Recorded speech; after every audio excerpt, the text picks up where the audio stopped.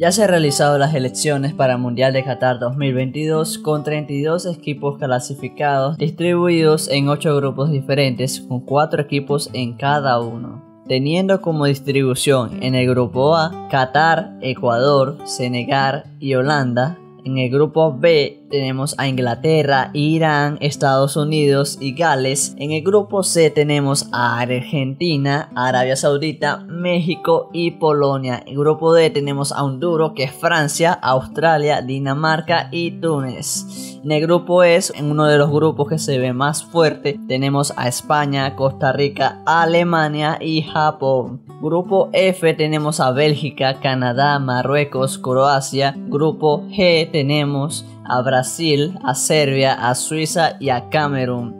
En el grupo H tenemos a Portugal, Ghana, Uruguay y Corea del Sur. A continuación se va a mostrar el horario de cada uno de los partidos.